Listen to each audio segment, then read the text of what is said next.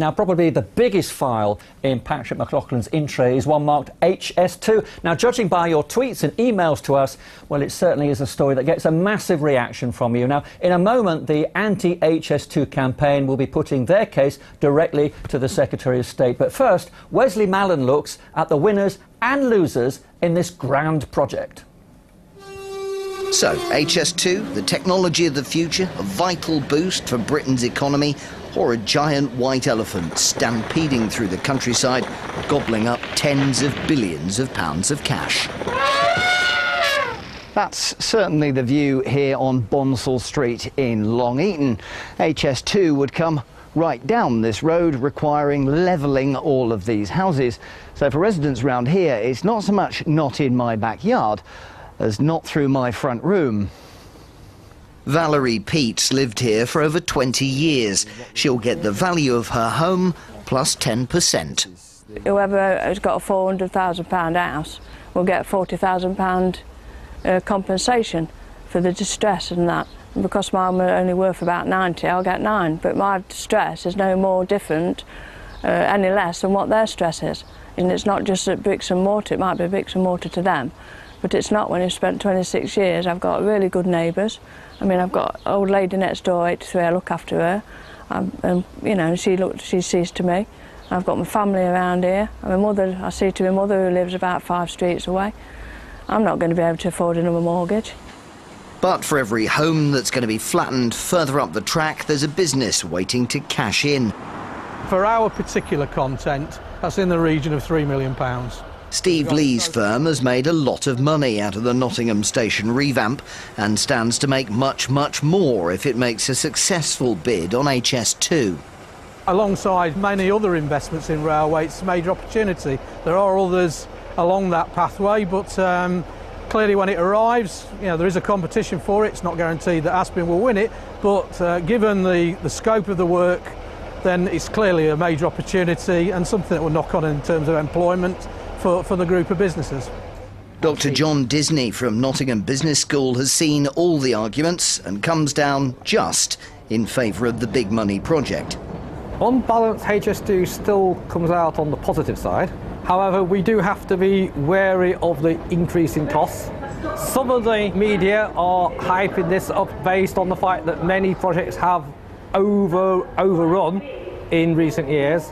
However, the railway industry is getting better at delivering on time within budget. The rail industry might be getting better at sticking to budget, but the money is still coming from the public purse, a point that's not lost on Valerie Peet. My money, my tax, is paying for me to have my house, own house pulled down. It'll be at least 20 years before we even see a high speed train in the East Midlands, and in the meantime, who knows what obstacles could end up in the way. Now, we've been joined by Joe Rukin from the Stop HS2 campaign. We'll hear from Joe shortly. But first of all, Patrick McLoughlin, let's, just touch on that white elephant. Now, the project is now estimated to cost £50 billion. Those costs are bound to rise, aren't they? So, isn't the argument, the, the value for money argument, bound to diminish? Well, what I did a few weeks ago when we had the second reading of the paving bill, I set out clearly what the uh, figures were as to uh, what I've been told as the, the cost. That included quite a large contingency. It may well be that it comes below that contingency. Below? That's it. Well, it's exactly what happened with the Olympic Games. That hasn't happened on big Well, it- infrastructure projects before, though, has It happened on the Olympic Games. The contingent, the budget was set, and the contingency was there, and it came in below what the contingency was. Look, I, I know that this is a big project. The simple fact is that 15 years ago there were 750, 750 million passenger journeys. Last year there was 1.5 billion passenger journeys. We're seeing more freight on railways. We're seeing more people use the railways. There hasn't been a new railway line built north of London for 120 years. Lilian Greenwood, there, there are surely a host of other transport projects that you would like to see funded, and surely the money that's going to be invested into HS2, that could be better spent surely on, on some of those local projects. Uh, and isn't there a danger that, you know, Lord Mandelson's fears that this is what an expensive mistake is going to come true? Well, I think as Patrick has set out, there's a huge capacity crunch coming on our railways. Um, and quite rightly, the last Labour government looked at how do we meet that demand uh, for rail travel and concluded that the best way to do that was to build a new north-south rail line. Now, it, it can't happen uh, in isolation. We still need other improvements in our railways and in our transport networks. And, you know, in Nottingham, we're seeing uh, that happening. But if we're going to be ready uh, for the challenges of the future, we have to make sure Okay. we've got that rail capacity. Joe Rukin, there you've got the problem, surely. You've got a transport coalition here that's in favour of HS2. Uh, how are you going to stop it? Well, that's the problem, really. We've got a lot of politicians who are in favour of HS2 who aren't really paying any attention to the plan. Well, you've got a top politician here next to you. What's the point you put to the Secretary of State? Well, first off, uh, the Olympic budget, that was a great plan because obviously, which budget were you talking about? The original budget there was 2.4 million, uh, sort of 2.4 billion, and it ended up as 10. But in reality, you should really look at the number of transport experts, the number of people from the rail industry who are now saying that you could deliver the capacity a lot cheaper, a lot quicker, and benefiting a lot more people by investing in the So your existing question is, I'm going to sound like the Speaker of the House of Commons here. Your question is? Why aren't you investing in the existing? I know you're doing H loss, and I know that there's other investments that Come you can you've look at, but why aren't you looking at seriously at options like the 51M proposal, like Rail Package 6, all of these things Okay, that could deliver capacity a lot answer. quicker? On the West Coast Main Line, north of, of Rugby, there was 10 billion pounds spent on improving that line. It doesn't On overall. It doesn't Most of that was overall. It doesn't. It's a Victorian railway system. Yeah, mo- yes, most of it was maintenance that hadn't it been done for 40 it years. It takes a lot of repair. We spent 10 billion pounds on that line. It does not impr- improve capacity. We're spending at the moment 960 million pounds on Reading Station to improve the capacity through there. We are spending money on the existing railway lines. Okay, what would We're- you what do you ask kind of Labour's um, kind of shadow rail minister? Because obviously Labour are committed to the scheme too. Well, what I, what I say to you is, do you really want to be lumbered with this project with God knows what costs it, it will end up with at a time at which we have got a national debt that is, seems completely unrepayable? Okay, yeah, I think you made your point, Lily. Well, I mean, I think the point the, the point to be made is how do we get the t- capacity that we need on our railways? And of course, the government need to be uh, controlling costs, and that's one of the issues uh, that we've been raising uh, with Patrick uh, and his fellow ministers. That's Joe, important. Joe, are you are you against HS2 um, because of the route or because you're against high speed travel? No, I'm against this project, and everyone in Stop HS2 is specifically against this project. The problem is that a solution was devised without any attention being paid as to what was in the best interest of this country. Is there and an that's why of NIMBYism here, though? No, no. Th- th- well, that's the problem that we get, keep getting hit with that tag when people can't actually defend the arguments that we put.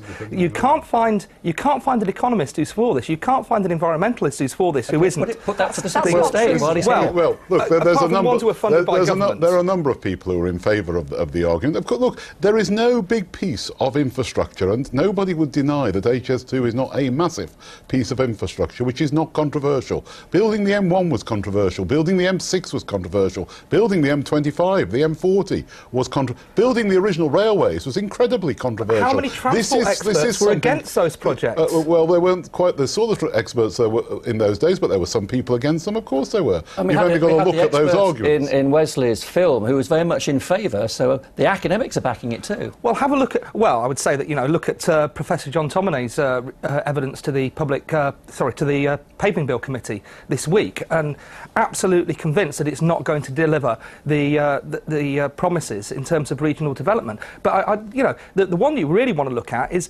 Uh, Adam Mills, who was chair of Eurostar when HS2, HS1 was first put in, and he was saying the figures were completely made up. He spent two Okay. years defending the indefensible, and the whole case for HS2 is away Okay, with let, the fairies. Let, us move on to the raw politics here. Um, we've had a lot of response uh, on Twitter and on email. Um, many people, both in the wide Midlands but also in the Chilterns. Um, now, these are Tory areas, and isn't that the problem that you've got, Patrick? Well, it is. A, look, I, anybody who's directly affected by this scheme, of course, is going to be upset and doesn't want to see it go ahead.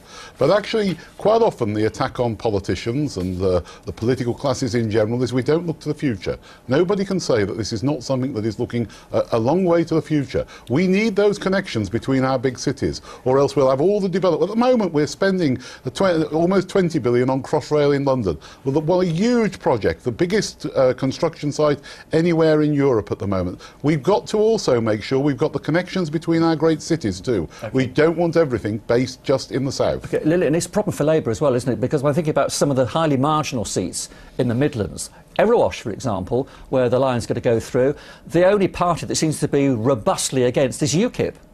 Um, well, we're in favour of building this new high-speed rail line. It's important uh, for dealing with capacity on our railways. It's important for generating the jobs and growth of the future, which people uh, in those marginal seats want as much as they do uh, in our cities. Of course, we need to be sensitive, though, to the views of those people. It is difficult, and we need to get the compensation package right, and the government have got to uh, address that because that's certainly an issue that came through loud and clear when we uh, took evidence on the paving bill this okay. week. You've heard from the politicians. Where do you take this campaign next? Well, we keep on going and we keep on going. The more that people find out about HS2, the more and more people come out against. You know, we've had MPs come out and say, we were I was conned by the spin from HS2, and then I bothered reading the evidence. And that's what people have to do. And that's what I would suggest that more and more MPs do, is actually read the evidence that shows it's just going to drag more stuff Well, to I London. think Thank you very much. We'll, we'll, we'll obviously more. come back to this uh, in many, many months and years to come, no, no doubt.